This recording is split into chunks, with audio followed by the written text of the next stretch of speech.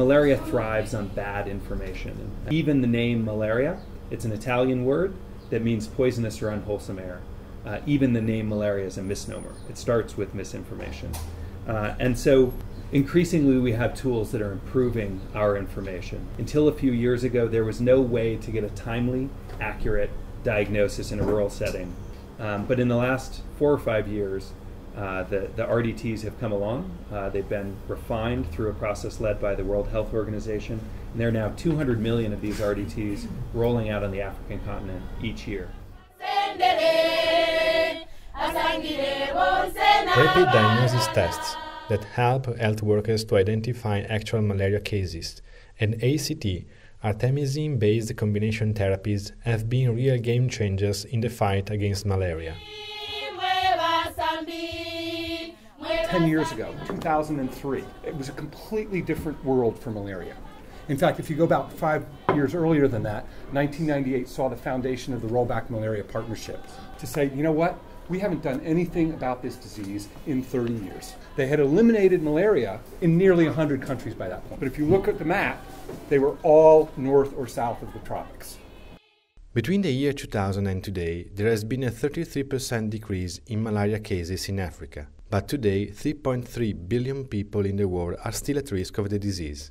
90% of the deaths due to malaria occur in sub Saharan Africa. Here in Zambia, they've developed a, a really um, impressive system where now 500 and growing uh, health workers are using a very simple SMS based system to report on a weekly basis the number of people who uh, come into clinics with malaria like symptoms the SMS reporting system is proving effective in collecting data on malaria in Zambia, but this is just part of the story.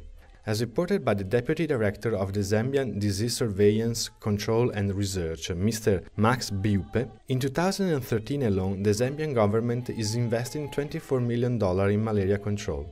In the last 10 years, Zambia has improved the drug distribution system, distributed bed nets against mosquitoes, fought against its marshes and swamps. The government of Zambia is supporting the Power of One campaign organized by the NGO Malaria No More and backed by big international companies like Novartis and Alere.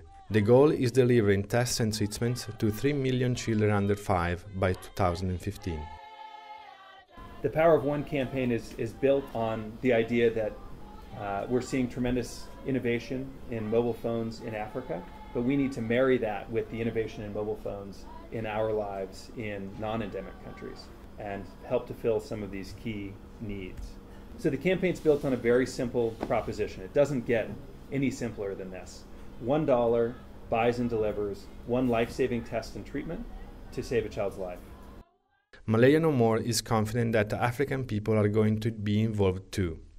The Power of One campaign will end by 2015, but if it will prove effective, Martin Hendon and Malaria No More, with all their international partners, are going to expand it to more sub Saharan countries.